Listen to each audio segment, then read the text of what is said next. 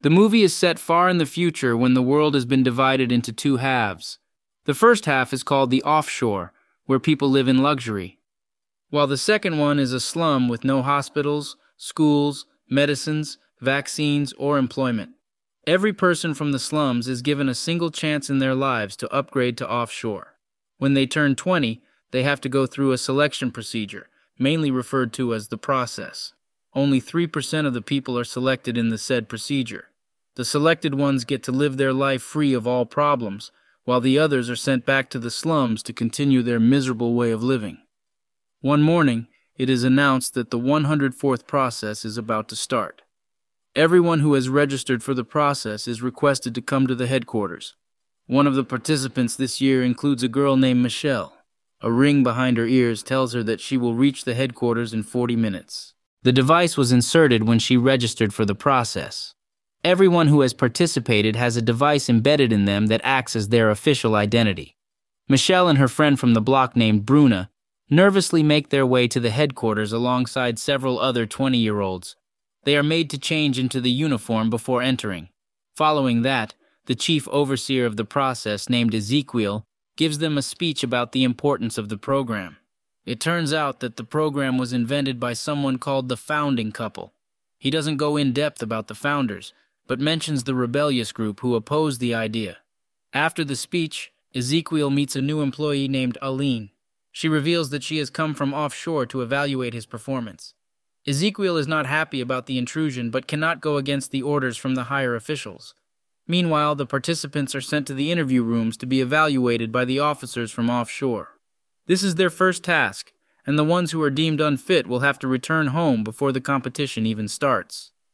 Michelle's interviewer asks her several personal questions about her life. She reveals that her boyfriend came as a participant last year and hasn't returned home. She assumes he succeeded, but the interviewer suggests it can be otherwise. He might have died in an unfortunate event, which is not uncommon for the participants.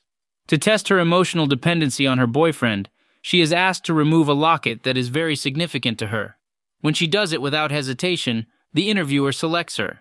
At the same time, a guy named Marco confidently answers all the questions. Everyone in his family has always passed the selection, so he is confident that he can make it to the end. His lack of fear gets him through the first round. The same cannot be said for a guy named Alex.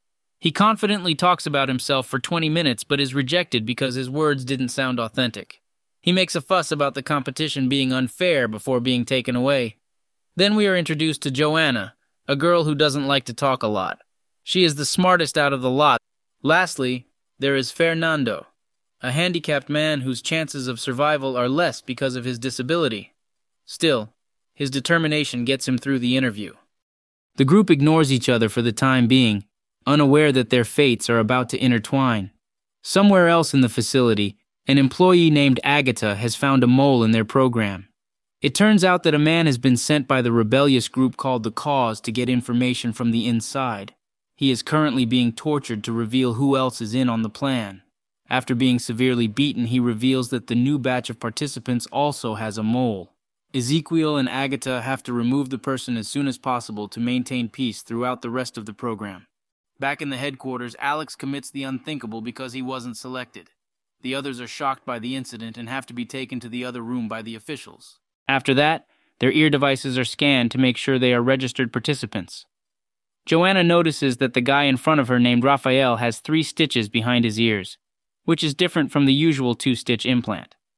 She calls him out for being a fraud but he insists as he was legitimately registered. When scanned, the monitor verifies him. Joanna is sure that he has passed the test using a trick, but she doesn't notify the officials, planning to use the information to her advantage.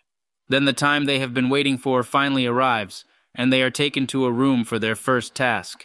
A set of building blocks have been placed in the middle of the table. The participants have to use them to build nine cubes in 10 minutes. The task starts, but Orlando struggles to reach the blocks. Michelle helps him out of instinct before taking the blocks for herself. They immediately get to work and continue as the timer ticks. In the last few seconds, Michelle struggles to create the last cube. Seeing her struggle, Fernando helps her and creates a bigger cube out of the 8 cube S she had already created. When the timer stops, Raphael is still one cube behind, so he steals from a guy beside him. The management lets him get away with it, and he passes the round. Similarly, Joanna has created 11 cube S, which makes her pass as well. Michelle also has 9 cube S, although one of them is bigger, which makes her pass. After the game, everyone starts looking at Raphael differently. They call him a cheater and talk behind his back. He deliberately causes a fight and gets beaten up by a group of people. When they eventually stop, the participants who were insulting him earlier now sympathize with him. His plan works, but it doesn't go unnoticed by a smart Joanna.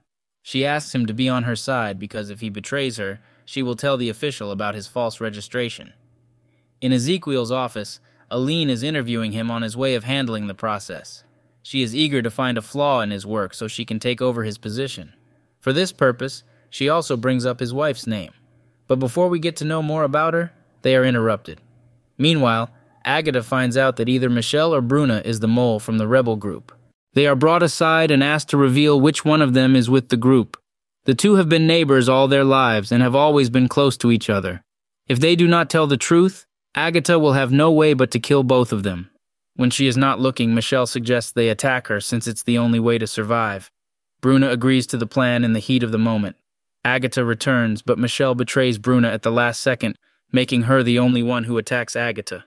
In the following commotion, she is shot dead, and Michelle is let free. It is then revealed that Michelle is actually the mole and is working for the rebel group. Although she and Bruna had been friends since childhood, she sacrificed her for a bigger purpose. The story about her boyfriend was also made up to be selected. In reality, she is going offshore to look for her brother, who went through the process and never returned. In the following scene, we are introduced to Fernando his background.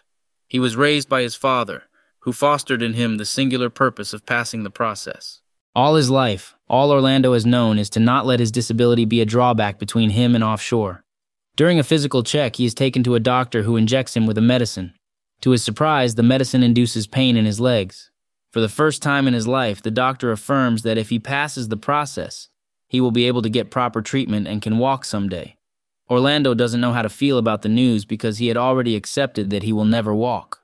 For the next task, the participants are put into a group and taken to a room.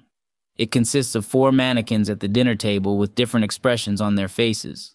The group has to figure out what happened to the woman in navy blue clothing. They quickly begin to analyze the situation, suggesting their own ideas.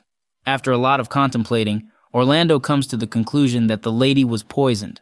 Her husband is the man sitting by her because both of them have dirt on their shoes, so they must be the guests at the other couple's house. However, in the time of emergency, she is turning toward the other man. This could mean that she was having an affair with him and hence was poisoned by his wife who cooked the meal.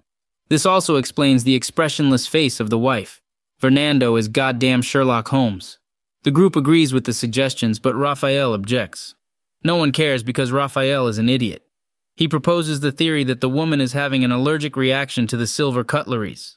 Since everyone is wearing at least one silver jewelry, and the woman is wearing a glass ring and a wooden necklace, he assumes she is allergic to silver. She is turning toward the man other than her husband because he is a doctor. Unlooking through the drawers, they find diagrams of the human body which hints towards the same. But this still doesn't explain why the host female has an expressionless face. Joanna, who had been quiet the entire time, reveals that the woman is blind because she has no lamp on her side of the study table. They check the other drawer and find a book written in Braille. In the end, Raphael's assumption is proven to be true. Still, one of their teammates is eliminated for doing nothing to help the group.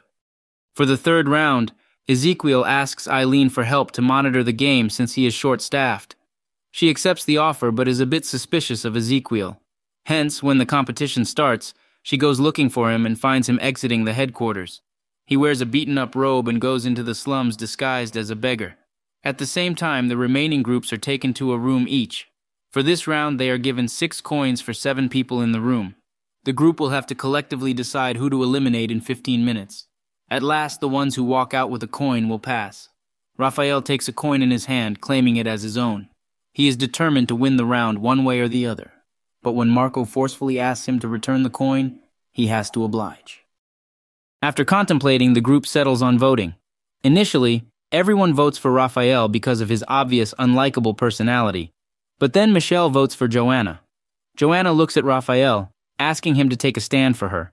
Afraid that she will reveal his secret, He does as told and casts his vote for Fernando.